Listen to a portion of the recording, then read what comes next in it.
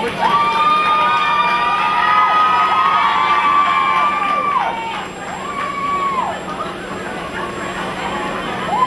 Oh!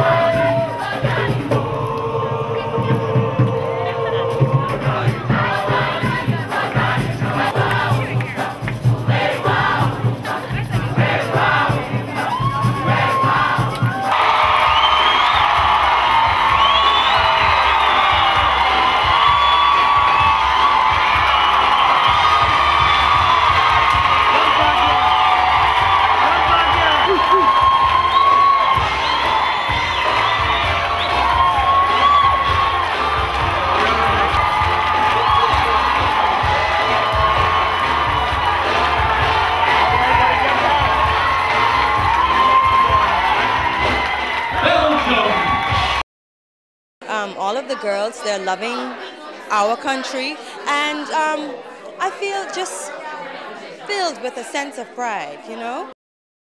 Let me tell you, first things first, they always, they always mention and talk about the water. Um, they talk about how everyone is just so nice to them and how, um, you know, they may have traveled to other countries, but they have never experienced such a um, wonderful feeling, you know, until coming here to the Bahamas. And I mean, huh, I, my head is just, you know, swollen because of all of the compliments and remarks that they have given about my country and um, about my people.